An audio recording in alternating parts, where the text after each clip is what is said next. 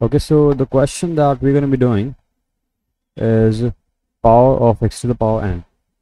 So we have already done the recursive approach and uh, in that the time complexity and the space complexity is actually log n and the space complexity is also log n. So in the previous approach we have our time complexity as log n and space complexity also log n and in this one what we're going to be doing is we're going to be optimizing the space complexity as big O one. So let's see how we're going to approach that. So let's say we have 2 to the power 12 and we have to calculate this. So what we can write this as okay. We can write uh, this as 2 to the power 2 into 6 and uh, another way to actually write it is 4 to the power 6 and now what we are going to do is we're going to write it in another way further down. So by that let's see what that means. So we can write it as 4 to the power 2 to the power 3 and we can write this as uh, let's say 16 to the power 3 and again we can write this as 16 into 16 to the power 2 and again we can write this as let's say 16 into 16 and in a way we can take it as 16 to the power 1 16 to the power 1 and we can further write it down as 16 into 16 to the power 0 and we know that as soon as something to the power 0 is actually 1 so ultimately this is actually 16 now why we have actually done this? So we can say that uh, this 16 is actually one part of the recursion the like in the recursive approach it was one part of the recursion but in the iterative approach we can take this 16 as one part of the solution and we can actually put it right here. And as we have already calculated this part we also got a solution for the rest of the half part. So in a way what we are actually doing is we are actually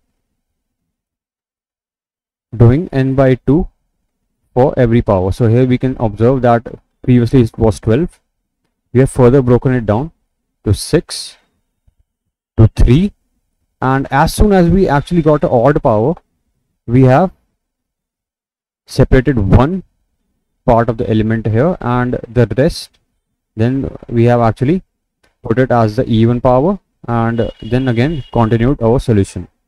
So that is what we are actually doing here so now like uh, we have already got one part of the solution. We're gonna give it back. And uh, as soon as we got the power we can actually pass this solution right back. And again we're gonna pass it right back right back further down, further down the line. And ultimately we're gonna get our answer so how we can actually do this in code? So let's see.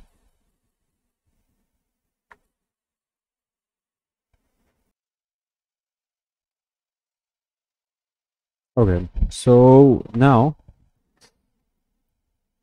as I have said that uh, as soon as there is uh, even power so the thing is that we are gonna have a partition. Where for one part we are going to get our solution.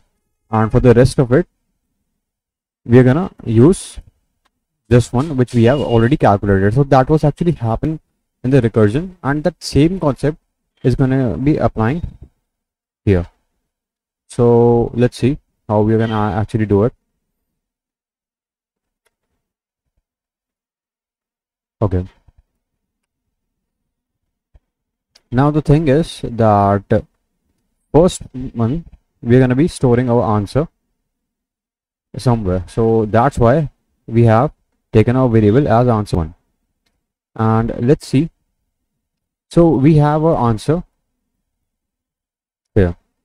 And let's say we have some x element and we have our power n as let's take it as 7 now the thing is that as soon as we're going to encounter a power which is odd so what we are doing is we are separating our element and the rest of the solution of the power. So let's say we have let's say encountered an odd one. So this n and 1 is actually used for calculating if a number is even or odd so we have encountered an odd number. So we are going to include that in our answer, which is the x element. And now what we're going to be doing is we're going to go and reduce this power by 1 because we have actually used one element here and now this is actually multiply and now again we're going to check if the power is even or odd. So in this case now it is even. So what we are going to be doing is we are actually gonna multiply the element with itself. And like why we actually did that? Because if we're gonna see that if we multiply the element by itself then let's say if like let's say the element was 3 and if you multiply it with itself then what is going to happen is uh, the answer is going to be 9 and we can actually divide our power by 2 and now the thing is that we don't need to calculate the half of the answer for the rest of it. And let's see how this is actually going to help. Let's dry run this so let's say we have our answer as 1 our x element as 3 and we have n our power as 9 so the first thing we're going to check is my power. Is it odd or even? In this case it is odd. So what we are going to do is we're going to multiply our answer with the element x which is 3 and we're going to reduce our power by 1 now in this case it is actually even. So what we're going to do is we're going to multiply our x element with itself which is going to be 3 into 3 9 and we're going to divide our power by 2 so this is going to be 4 again we're going to check is my power is even or odd it is even. So what we are going to do is we're going to again multiply our element which was now 9 with itself. 9 9s are 81 and we're going to divide our power by 2 so now it is again 2 and again we're going to check our power is even. So again we're going to do 81 into 81 and divide our power by 2 now in this case it's 1 so now our power is actually odd. So now what we are going to do is we are going to multiply our power with the rest of our answer. And now in this case it is 81 into 81 and the resultant of this is actually going to be our 3 to the power 9 so that is how this approach is actually working. And the thing is that there could be some exceptional cases. So let's say we have a power as negative and let's say we have x to the power uh, let's say in negative or let's say int min so this is int min is actually the limit and uh, the thing is you will not be able to handle uh, the answer of it in here so that you have to actually use the long long. Because uh, let's say in our solution what we are going to actually be doing you're gonna 1 divide by whatever the answer you're gonna actually calculate. And uh, this part of it the power part which you are gonna calculate so this is gonna happen for negative 1 so if the power is negative you're gonna first convert it into positive and calculate the power as like you are calculating. And finally at the end you're going to divide it by 1 divided by whatever answer that you have calculated. So the thing is that if you have actually the negative power and you're actually going to try to convert the int min into positive by let's say using absolute of int min. So the thing is you're to get a, a overflow and uh, your solution is not to work and it is to throw an error.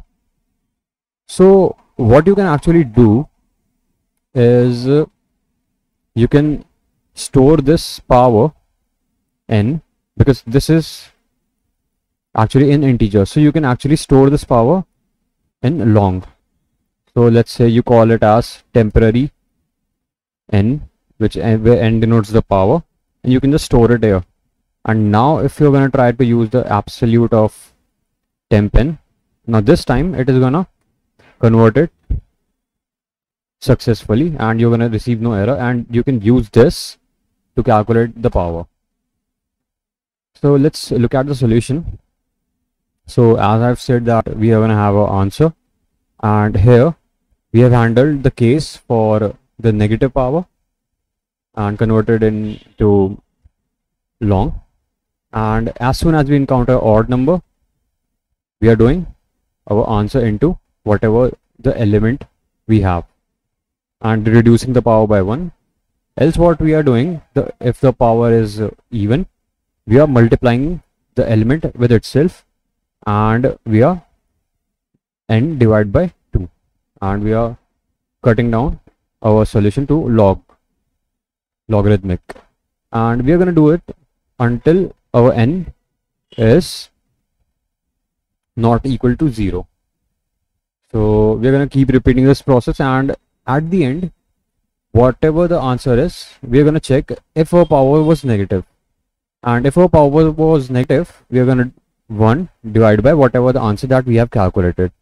And all of this is happening in double so keep that in mind. So we're going to typecast our 1 because in this case it is actually even. So we're going to typecast it double first and then use the division.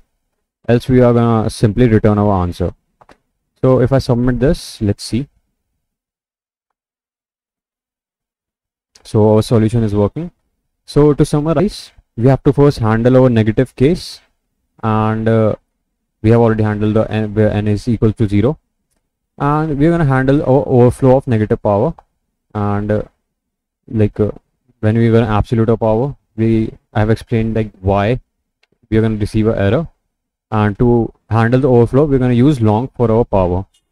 And again initialize our answer with 1 and whenever the n is odd we're going to multiply it with like uh, the on the element and whenever it is going to be even let's call it element.